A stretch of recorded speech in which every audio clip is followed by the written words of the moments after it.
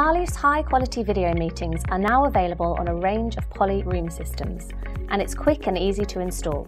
All you'll need is a compatible Poly endpoint and a TC8 controller. First, make sure your Poly equipment is set up. StarLeaf Room for Poly is compatible with the Studio X30 and X50 video bars and the G7500 video conferencing system. For this installation, I will be using a Poly Studio X30. You will need the local IP address of your video bar, which you can find in Settings under Connected Room System. Now, in a web browser, connect to the same network as your Poly video bar. Enter this IP address to access the Poly admin interface. You may see a certificate warning the first time you visit the page. Click Proceed and log in. By default, the username is admin and the password is the last six digits of your Poly video bar's serial number. Make sure your Poly system is running the latest firmware. To do this, go to General Settings, Device Management, then click Update All.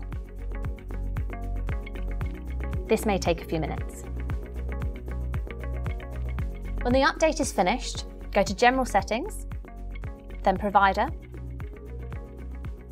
select StarLeaf, then Save and Reset. Do not power off your Poly equipment during this process. To connect to the StarLeaf platform, you will need Quick Connect codes from the StarLeaf portal. Log in as an admin and go to Room Systems. Select Add Room System.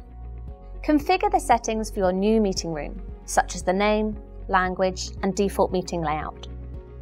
Under Hardware Endpoint, select your Poly video bar, and then click Add Controller to add the TC8 controller.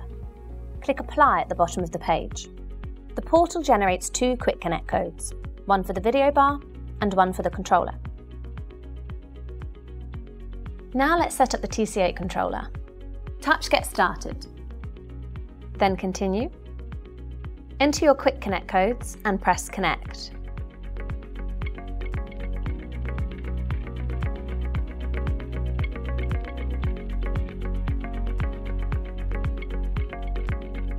It may take a few minutes for your controller to connect to the StarLeaf platform. When the setup is complete, your TC8 displays the StarLeaf home screen. You're now ready to have a StarLeaf meeting.